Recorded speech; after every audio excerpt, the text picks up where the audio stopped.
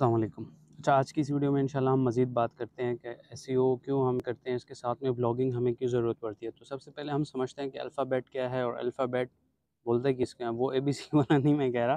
Google और YouTube, ये दो कंपनीज़ ऑन करते हैं अल्फ़ाबेट। जैसे हम व्हाट्सएप यूज़ करते हैं, फेसबुक, इंस्टाग्राम तो इसको मेटा ऑन करता है।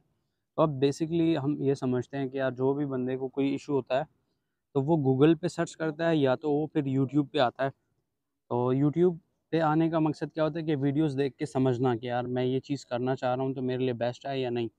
आसान एग्जांपल क्या है, जैसे अब मैंने गेमिंग लैपटॉप ख़रीदना है तो मैं गेमिंग लैपटॉप की स्पेसिफिकेशन और रिव्यूज़ चेक करूँगा कि यार कौन सा गेमिंग लैपटॉप बेस्ट है।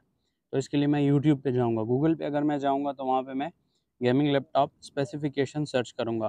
तो मैं यूज़र इंटेंट यही है यार कि मैं गूगल पे आ रहा हूँ अपनी प्रॉब्लम का सलूशन ढूँढने के लिए कि यार मुझे गूगल मेरे प्रॉब्लम का सलूशन दे।